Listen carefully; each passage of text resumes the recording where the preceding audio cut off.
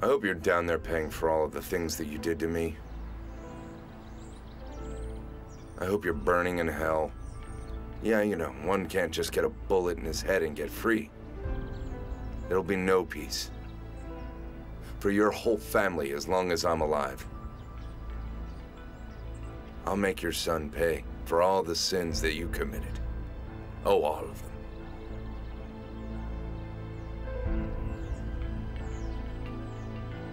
And I won't rest until I've made him pay. Papa.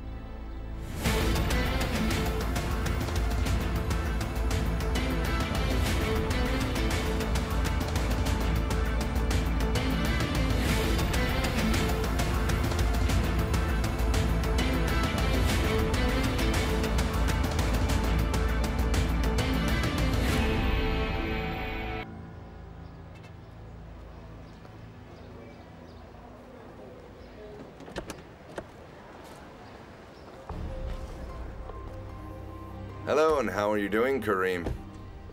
What do you want now? I paid my debt. That may be.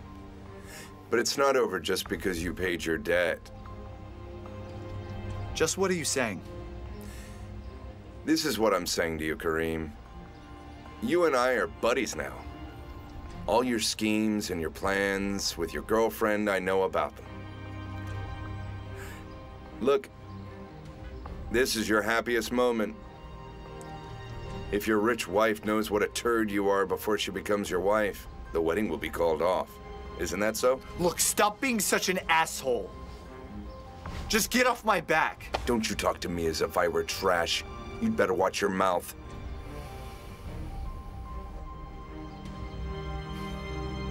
What do you want?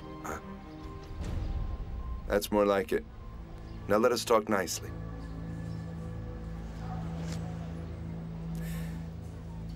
I have a very simple request. I want to be near my brother on his happiest day. I want to be your best man and stand by you at your wedding. What? I want to be your best man. Have you gone mad or what? What is it you're planning now? Listen to me, Kerem. If you want this wedding to take place, you'll do as I say. We're not friends anymore. We're foes. You got it?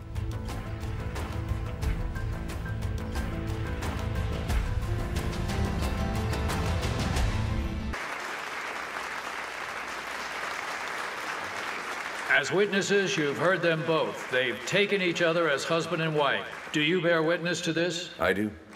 I do.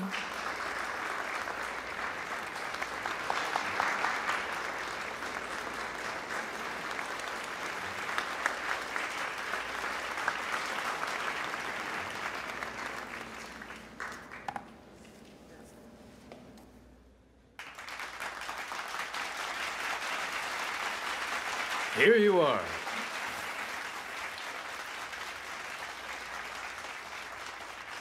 I now pronounce you husband and wife with the power given to me by the High Municipality. Congratulations.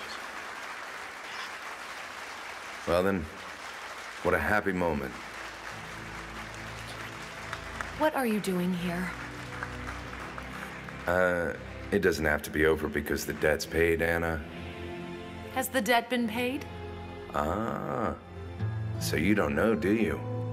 Your boyfriend didn't tell you so you wouldn't stop the wedding, huh?